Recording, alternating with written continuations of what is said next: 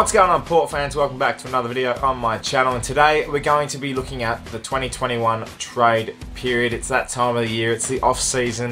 We're going to be looking to see what we can bring into the club and what we can let go from the club to improve our list for 2022. It's a massive next couple of weeks with the free agency and the trade period to get underway. A lot of silliness in the silly season. We've heard it plenty already. Trade radio even started today and I've seen a few crazy, crazy trades uh, being put uh, out there to uh, get some opinions, some feedback. So I'm going to give you my thoughts on this year's trade period and see what we can do to improve Port Adelaide's list in 2022. Firstly, I'm going to ask the question, what do we need? Well, a lot of people will have a few different opinions on what we need and what we can improve on in each and every area. Um, looking at our defensive unit, I think it's pretty rock solid uh, with Tom Jonas, um, Aliir Aliir, and Trent McKenzie down there, mixed with Ryan Burton, DBJ, and Dan Houston and co. running off the half back line. You do have the likes of Tom Clurey also, who is on the cusp of getting a selection, and many half backs that run through that list. So I think that's a pretty well kept group, and nothing will too much change in that aspect. In the midfield, you do have the two uh, big guns in Wines and Boak with mixing with Drew. Then you have um, your other likes of uh, Houston, who does run through there. I've seen Connor Rozee, Zak Butters, all of these players that rotate through there. But we don't have a third or fourth set midfielder, um, and it's not really um, a place that we've been uh, blessed with in terms of a lot of depth or a lot of ready-made midfielders ready to go. So there could be a few targets out there in the free agency and the trade period that we could look at, and especially especially a few that have been delisted. Um, and then you go into the forward line and you've got your big Charlie Dixon, you've got Todd Marshall, Mitch Georgiades, and all the smalls, you know, the, the Rozee, the Butters, um, the Fantasia, uh, and the countless others that are mixing through there. Um, and there's plenty of small forwards that we have um, that are capable of standing up to that task. So it's the big guys that you've got to look at, and I think um, overall we're pretty pretty covered in that area.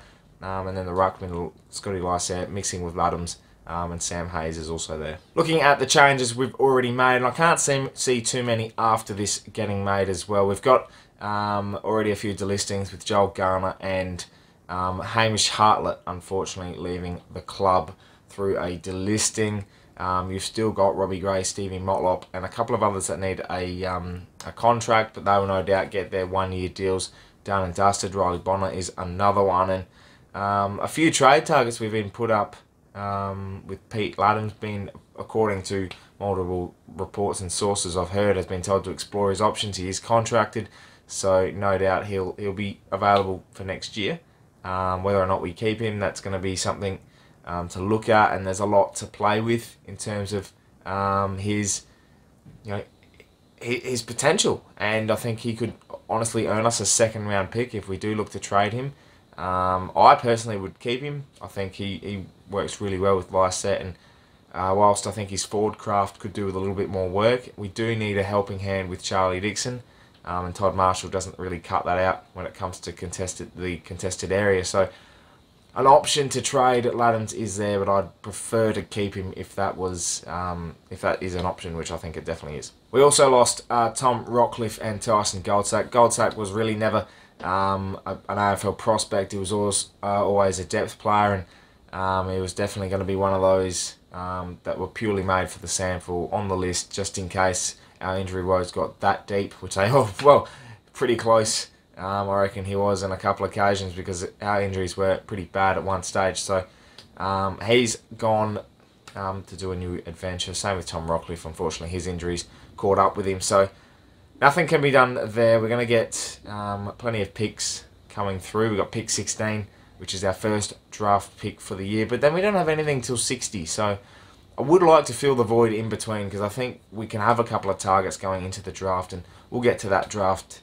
um, in a few weeks' time when it does come to, uh, around that time. But looking at the prospect of what we can bring into the club, um, we obviously missed out on Jordan Dawson, which, to be honest, is a win for the Crows, as they say, but I don't think he was really needed. Um, he, he was more of a half-back flanker, you know, a wing type, and we've got plenty of those that can cover uh, that that um, that position. So our, our list is pretty settled um, across the board. But looking in terms of the midfield, I think the midfield is the one key aspect I'd love to add a couple of more players to bring in a bit of extra depth whilst also developing a few Um, you know, players from within, and Connor Rozee's been one prospect that's been looked at. Zak Butters um, definitely can take his game to another gear. He's obviously had an injury-riddled season, and um, these blokes have got to start to set the tone. It can't just be Wines and and Boak. Um, and Robbie Gray's not going to play as much time in the midfield every year that he keeps playing. So these players have got to stand up in these situations. Dan Houston is probably one for mine that um, can move the ball really well. His kicking is elite. His, his disposal efficiency's been right up, and that's something that we've lacked in the midfield. His delivery inside 50 is one of the best, if not the best, at the club. So when you're looking at trades, what do you look at? Do you look at a midfielder that's going to be another ball inside? Maybe. Um, do you want something that's more of a complete package? I targeted, we got a bit of money in the chest. So I targeted Josh Kelly. I thought he was perfect. He can win his own ball in the contested areas. Smooth mover with the uh, with the footy and reminds me a lot of Scott Pendlebury. He's got a bit more pace as well. And um, but he is obviously signed up with the GWS uh, Giants now. Do you look at someone like a Luke Dunstan who played unreal for St Kilda in the 11 or 12 games that he played in 2021? Didn't get offered a contract. Might be someone to bring in um, and hopefully look at. There's been talks Tom Mitchell is lurking about um, from Hawthorn, so that could be an option uh, to come to Port Adelaide. I, I, we have a lot of um, apparently a lot of room in the in the salary cap, but I don't think uh, a lot to play with in terms of draft picks or players. Um, and then you got to look at our own list and maybe put up a couple more trade targets. Maybe Sam Powell-Pepper, who's on on that verge of the uh, of the best 22. Maybe you look at him. Maybe Riley Bonner does become a target to trade. Um, and you know, there's, there's a couple other players in there as well that a lot of people have been really pushing to get traded. Todd Marshall's another one. Uh, I personally think keeping Todd uh, is, is, is a necessity, um, not because of the way he's performed, but purely for structure aspects. And I don't think anyone can play that role any better. I just would love to see him improve a lot more. And that goes to the flip side. You know, we're targeting Jeremy Finlayson. Apparently, has done a medical at Port Adelaide. What role does he play if he comes into the club? Not entirely sure, but maybe a trade between um, between GWS and Port in terms of you know Jeremy Finlayson, Pete Ladhams, a couple of picks. If we can pick up Finlayson and a second round pick and and then trade off a couple of others and you know, really use that point system to our advantage, uh, make both parties happy or bring in a third club. I think that might be the main trade that we look at, um, and and that could. I think I've, I've enjoyed Finlayson's work. He's really aggressive at the footy. He he attacks it. Not the smartest of players, but definitely is a genuine goal kicker. Can kick goals. Can win his own footy. Can take a contested mark, and he would help out Charlie Dixon so much in our forward fifty. So it, that's definitely an option there. But in terms of everything else, there's not a lot uh, more you can say for our trade period. I think we're pretty set in terms of our list. I just hope, um, yeah, I just hope there's a few targets in mind and there could be a couple of surprises along the way. And I just hope we don't do anything silly. Keep our pick 16 in the draft and, and, and, and use that uh, to pick up a quality pick because I know it's a quality draft this year. I, I don't really rate um, you know, trading these first round picks now, especially when we're in a position that we can you know, pick a player here, pick a player there uh, as we keep moving forward. We've got a young group. You know, we've got a building success. We are building success. Um, whether or not we get there past the prelim, not sure.